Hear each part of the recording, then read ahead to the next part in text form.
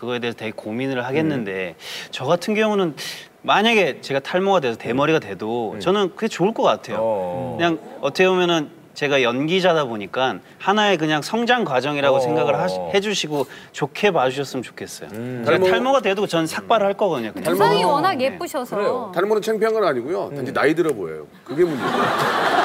그래서 문제고 예, 우리나라 동양애들은 두상이 이쁘지 않아서 밀면은 굉장히 사실 뭐 이건 우스갯소리 하는 거지만 우리 교정 선생님 여기 머리 이렇게 1m 넣으시잖아요. 우리 이렇게 넣- 넣으시잖아요. 네, 이렇게 덮어 놓으시잖아요. 예, 달리기를 못 하세요. 달리기, 아, 하면- 달리- 달리기 하면 대, 대역 제한돼서 이렇게 대역 제한되니까 예.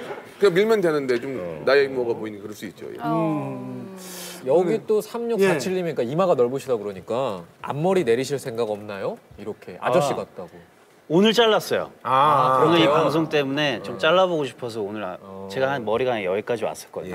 네, 앞머리를. 어제는 저희가 이제 뭐 생방송이라서 전혀 저희가 상의도 안 하고 이렇게 당황스러운 질문을 좀 드리고 있습니다. 예. 아, 네, 괜찮습니다. 아니 근데 최근에 연애 고민이 많다고 들었어요. 그 만나는 여자들마다 이제 아 좀 저 여자 괜찮은 것 같은데 그럼 지인들이 말린다고요? 아까 뭐 어떻게 보면은 저도 하나의 고민이기는 한데 예. 그러니까 여자를 만나는 사람들마다 이제 진영이 형이 항상 이제 옆에 저랑 항상 같이 있다 보니까 윤성이도 그렇고 진영이 형도 걱정을 많이 해요. 예. 여우들을 좀 많이 만나는 것 같아요. 여우. 그러니까 형이 봤었을 때 윤성이가 봤었을 때 여우라 그러더라고요. 어. 그 여우가 이제 착한 여우가 있고 나쁜 여우가 있다고 말씀을 하시는데 전 너는 항상 나쁜 여우만 만난다는 거예요. 근데 이제 그 어떻게 어쩌, 어쨌든 간에 이제 저는 어떻게 보면 제가 질문을 하고 싶은 게 뭐냐면 국민들한테 질문을 하고 싶어요. 그러니까 이 아 다른 사람한테 질문하고 싶어요. 예.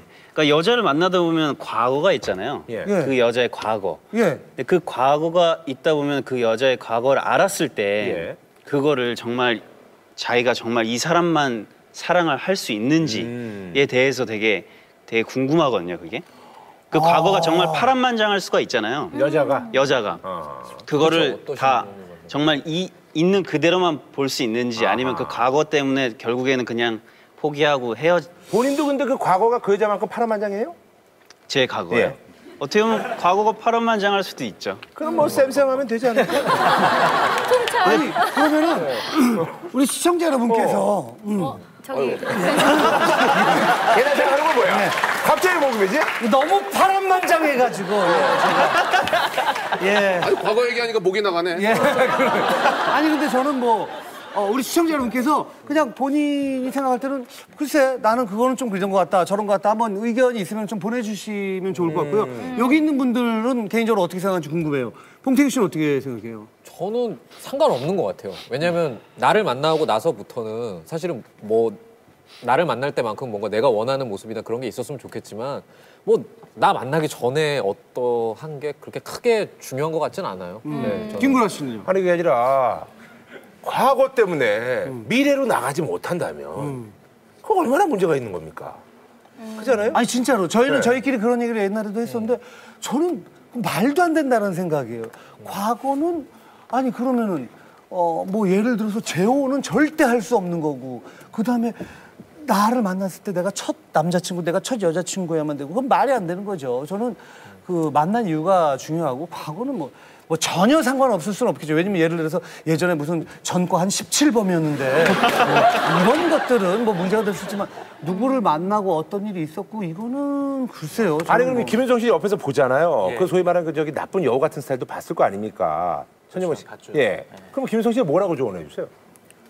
근데 미리 저는 생각을 해보면 그 친구 기운이 안 좋았었어요 항상 기운이? 그런 나쁜 여우들은 그래서 형 좀 아닌 것 같은데 느낌이 안 어. 좋아요. 근데 이미 형은 또 푹 빠지는 스타일이라 또 이렇게 푹 빠져가지고 그러면 우리가 이거를 나중에 이제 후회를 하는 거죠 해서 야, 그때 표정이 네 표정이 진짜 기가 막히네. 김윤성 씨 표정이 살아있네. 예. 이거, 이거를 즉석해서 한번 국민 투표에 저희가 붙여보도록 하겠습니다. 네.